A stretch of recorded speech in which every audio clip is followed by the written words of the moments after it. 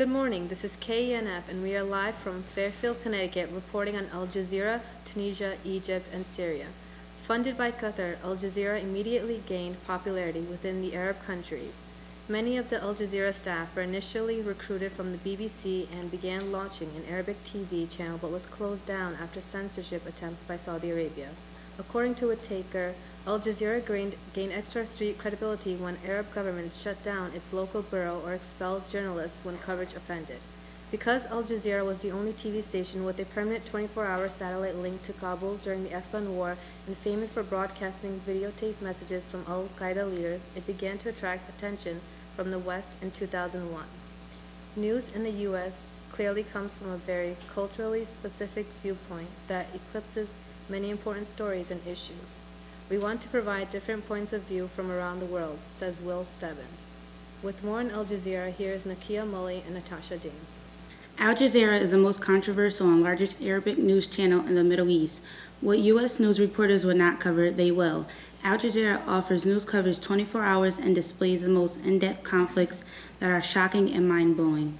This coverage allows individuals to get a first-hand grasp of what catastrophes are taking place in countries like Egypt, Tunisia, and Syria.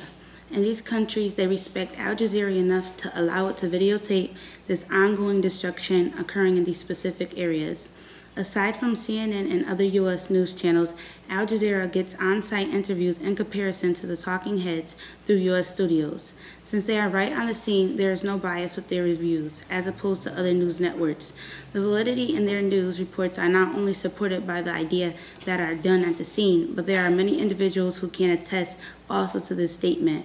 One person who believes Al Jazeera's news is credible is the Secretary of State, Hillary Clinton, who mentioned to ABC News that Al Jazeera is gaining more prominence in the U.S.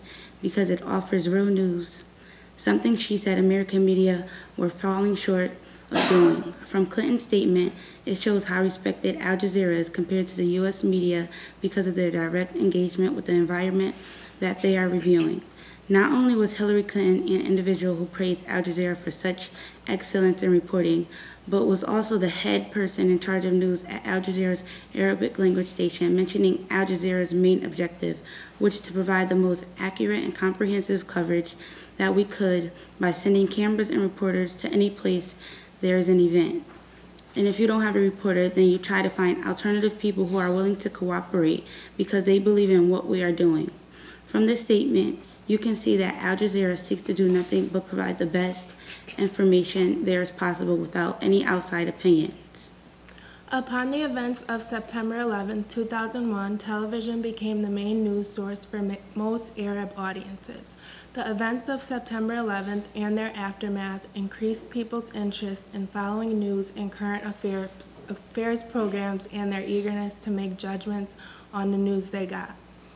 Noureddin Miladi, reporter and lecturer for Al Jazeera, stated Al Jazeera is the CNN of the Arab world.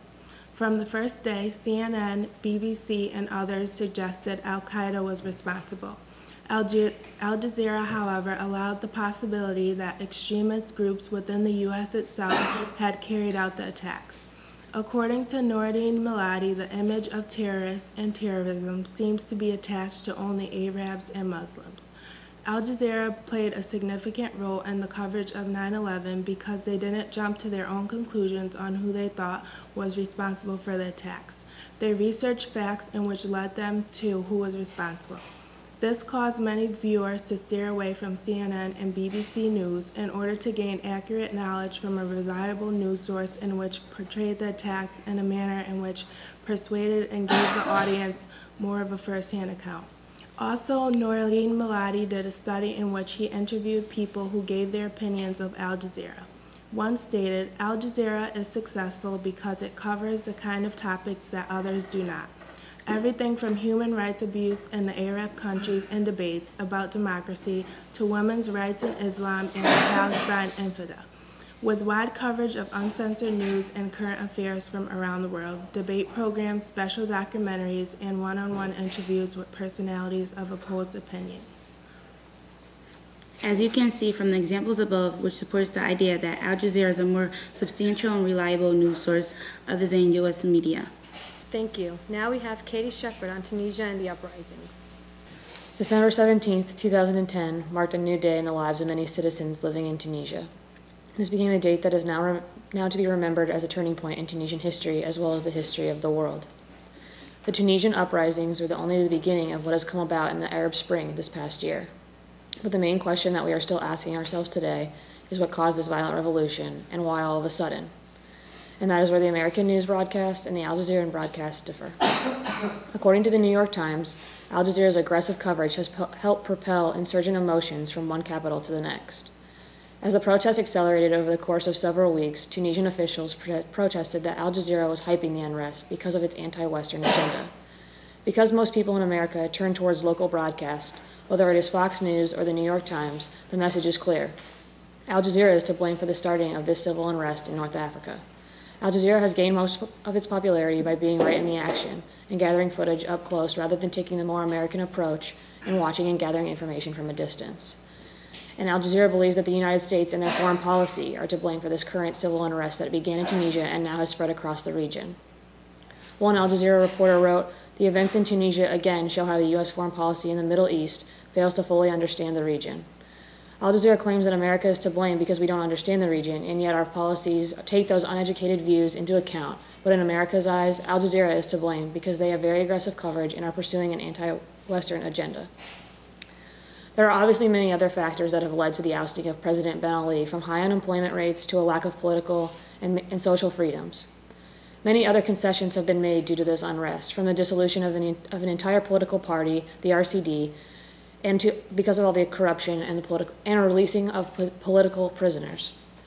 The Tunisian uprisings have only been the beginning of civil unrest that is occurring in the region, from Egypt to Syria for almost an entire year now. However, the end may be in sight when new leaders within the Tunisian government have now agreed to host elections to a constitute assembly later this month. We can only watch now as the Tunisian government tries to appease its citizens, yet be an effective government that will end this unrest within the region soon. Reporting for KENF, this is Katie Shepard. Back to you, Fatima. Thanks, Katie. Next is Eugene Pedroli with Egypt and the Violence Uprisings. January 28, 2011 marked a big day for Egyptian people, where thousands of Egyptians rose up against government to oust their president, Hosni Mubarak. These protesters sought for equal rights. And following out these demands, Egyptian protesters started riots and even went as far as burning down Mubarak and his regime's headquarters. Though there is chaos and upheaval going on because of these Egyptian protesters, the United States and Barack Obama are trying to help Mubarak and his regime get through it, reported by CBS News anchor Lara Logan. Lara Logan, while reporting in Cairo, Egypt, was sexually assaulted by one of the, the protesters during the riot. CBS quoted, In the crush of the mob, she was separated from her crew. She surrounded and suffered a brutal and sustained sexual assault and beating before, before being saved by a group of women and 20 soldiers. Another attack happened to CNN reporter Anderson Cooper, where he was punched up to 10 times. Cooper said, He and his crew tried to escape, but the crowd only grew, kept throwing punches and kicks. A man would look at you and punch you in the face. Though U.S. News, newscasts were in Egypt during the uprisings, they were on neutral sites. The newscast network Al Jazeera seems to have made its name for having news anchors and cameras on the scene in the riots themselves. An Al Jazeera news anchor actually said to his network, I will try and stay on and keep live footage as long as, he can, as long as I can until cops come and make me turn it off. After watching footage from both CBS and Al Jazeera, you see, you see distinct difference between two, two news networks. CBS shows graphic photos and footage shown by other networks. Al Jazeera, on the other hand, is more up close and personal, actually being placed in the riots. I feel these Egyptian protesters wanted word and footage to spread. They wanted everyone to know how they were being unfairly treated and to what measure they would go to to stop it. I believe Americans saw, through, saw it through a different light. After seeing footage of the riots and hearing about what happened to our own people, I feel Americans believe these Egyptian people are chaotic and can't be trusted altogether. Back to you, Fatima. Thank you, Eugene. Finally, we have Caitlin Levely on Syria and the pro. Syria is going through a major crisis at this point in time. From police brutality to innocent civilians being killed, the story begins with some teenagers demonstrating their skills and hatreds toward their government with anti government graffiti. The punishment for these teens was cruel and unusual and put the country of Syria in an uproar. Major protests broke out against the excessive force that was that the President Assad allowed to occur from the military. The demonstrators associated with the protests were fired at openly by the military, even though most were unarmed. The motive behind the protesters was a continuation from the occurrences in Egypt and Tunisia. They were trying to overthrow President Assad because they were unhappy with his rulings.